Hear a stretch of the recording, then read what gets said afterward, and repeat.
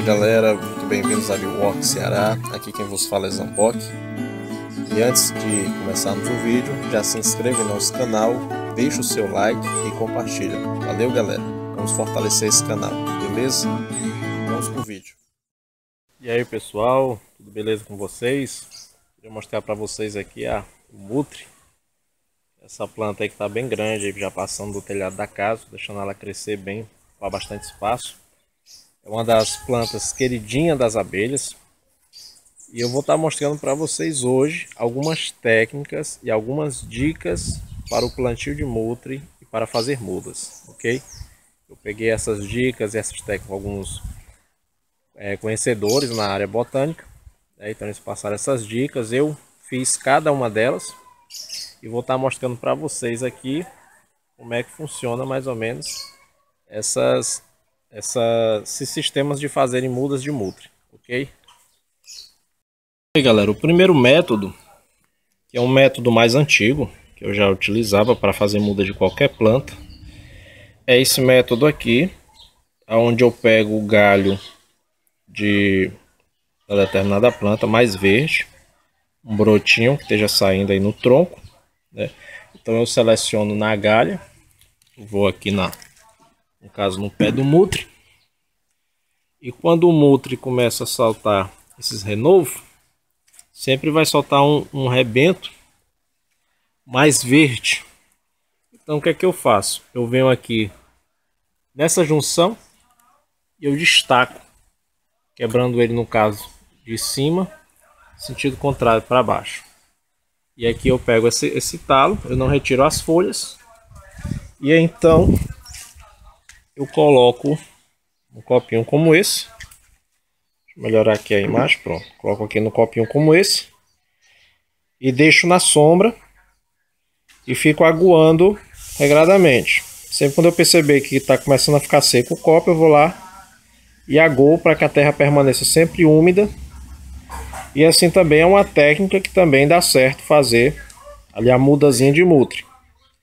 Mas às vezes acontece de dar errado, ok? Às vezes pega, às vezes não pega.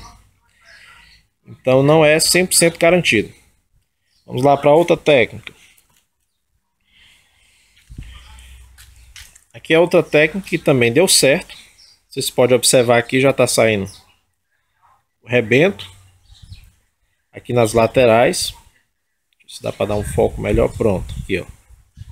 Vocês podem observar, já está nascendo aqui o as folhinhas do caule. Qual a dica aqui, galera? Você pega uma garrafinha com água, coloca alguns pregos enferrujados dentro dessa dessa garrafinha e você deixa lá por bastante tempo. Quando a água começar a colorar, pegar cor, então você utiliza essa água para fazer essa irrigação. Essa aqui tem exatamente seis dias, foi feito. Coloquei a águazinha lá, com prego enferrujado. E com seis dias já está começando a querer folhar. Outro método que o amigo Sérgio, canal Sérgio Jandaíra, ensinou é esse método aqui.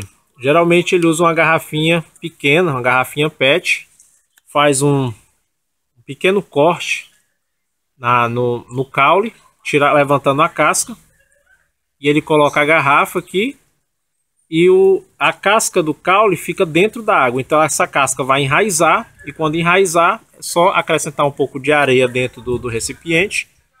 E depois faz o corte e planta.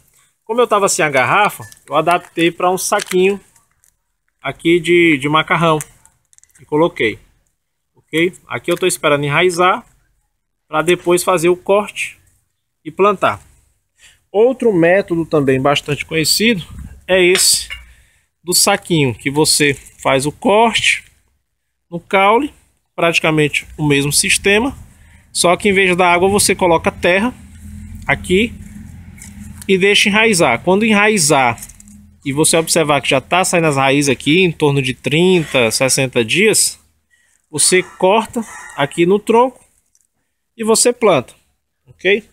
Mas a técnica que eu fiz com apenas seis dias, eu observei que teve é, é, foi mais rápido o procedimento, foi essa técnica da garrafa, onde a gente corta aqui a garrafa, inverte a parte de cima para ficar de cabeça para baixo, encaixa em cima aqui da própria garrafa e coloca o galinho.